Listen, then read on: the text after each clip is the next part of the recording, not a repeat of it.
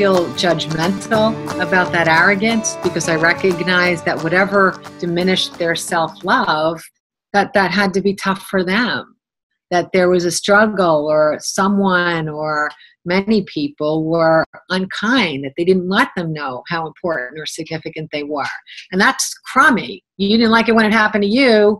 Why would we feel a lack of compassion for it happening to someone else? But what it is, it's it's the it's it's living within the illusion that if I pretend I'm better than others, then eventually I'm going to maybe think that I am at least okay.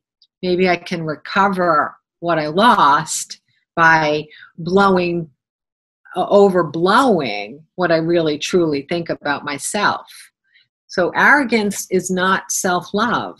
Self-love is confidence. Self-love is respecting that you do matter as much as everything else and that everything else does matter as much as you. There's a very prominent school of thought on earth especially when we look at religions, is that that we're supposed to we're supposed to live at some level of sacrifice. That if we have something or anything more than another person has, that it's our responsibility to donate or to give it. And that makes us good. And in order to be good in the eyes of whatever our religious icons are, in order to be good, then we have to live in sacrifice if we have more than somebody else. What's interesting about that is that it's not true. It is a way that a lot of religions get a lot of money, a lot of money, a lot, lot, lot, lot, lot of money. It is a way that that happens, but it's not a way that you get a special wink from God. It's not a way that you get an easier pathway into your own experience of letting go of this body and returning to your full consciousness the way you were before you were born.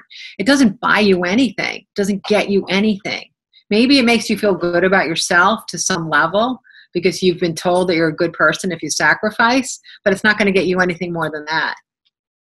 But giving from the overflow of abundance of what you have as a self loving person, that does get you a lot.